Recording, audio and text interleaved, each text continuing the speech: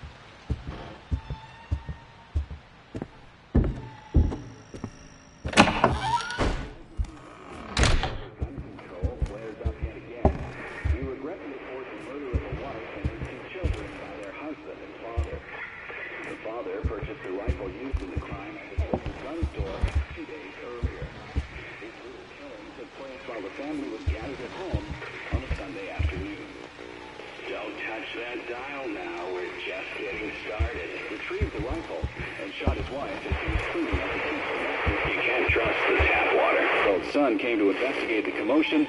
The daughter had the good sense to hide in the bathroom, but reports suggest he lured her out by telling her it was just a game. The girl was found shot once in the chest from point blank range. The mother, who was shot in the stomach, was 20486. In his car, listening to the radio. Several days before the murder, look behind